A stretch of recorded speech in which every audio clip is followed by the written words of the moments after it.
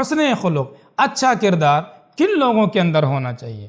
کون لوگ اس کے مخاطب ہیں؟ ظاہر حسن اخلاق کسی ایک انسان کے لیے نہیں ہے۔ ہر صاحب اسلام، ہر صاحب ایمان، ہر مومن مسلم کے ہاں حسن اخلاق ہونا چاہیے۔ اگر آپ تاجر ہیں تو آپ کیا بھی حسن اخلاق ہونا چاہیے؟ اپنے کسٹمر کے ساتھ، وہ لوگ جو آپ کے خریدار ہیں، ان کے ساتھ آپ کو حسن اخلاق سے پیش آنا چاہیے۔ اگر آپ کسٹمر ہیں آپ کیا بھی حسن خلق ہونا چاہیے؟ یعنی کہ بیچنے والا اچھے اخلاق سے پیش آئے، آپ خریدنے گئے ہیں تو جیسے چاہیں ان سے آپ معاملہ کریں، جس طرح چاہیں ان کو تکلیف پہنچائیں نہیں۔ آپ تاجر ہیں، آپ کے یہاں بھی اچھا اخلاق ہونا چاہیے۔ آپ کسٹمر ہیں، آپ کے یہاں بھی اچھا اخلاق ہونا چاہیے۔ اسی طرح سے اگر آپ کوئی خدمت پیش کرتے ہیں لوگوں کے لیے، کوئی سروس پرووائڈ کرتے ہیں آپ لوگوں کے لیے، آپ کیا حسن اخلاق ہونا چاہیے۔ لوگوں سے خدمت آپ لیتے ہیں، کسی سے کوئی سروس آپ لے رہے ہیں، آپ کیا بھی حسن اخلاق ہونا چاہیے۔ دو طرفہ ہونا چاہیے۔ اسی طرح سے اگر آپ طالب علم ہیں، آپ کے یہاں بھی حسن اخلاق ہونا چاہیے۔ اور اگر آپ استاذ ہیں لوگوں کو تعلیم دیتے ہیں، تو آپ کیا بھی حسن اخلاق ہونا چاہیے؟ ایسے نہیں کہ طالب علم تو حسن اخلاق سے پیش آئے اپنے استاد سے، لیکن استاد اپنے طالب علم سے، بد خلقی سے بدسلوکی سے پیش آئے نہیں۔ آپ طالب علم ہیں آپ کے حسن اخلاق ہونا چاہیے۔ آپ اگر استاد ہیں تو آپ کیا بھی حسن اخلاق ہونا چاہیے۔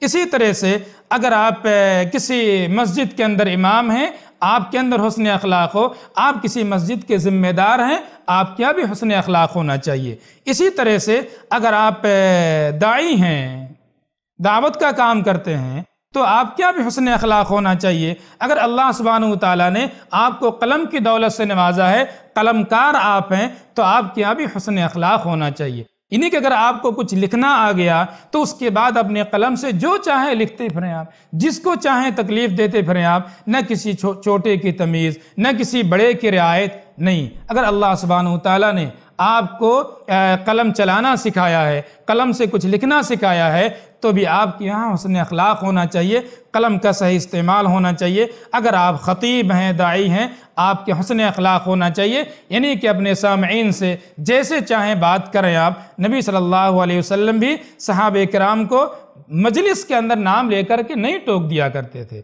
فرمایا کرتے تھے، ما بال رجال یفعلون کذا.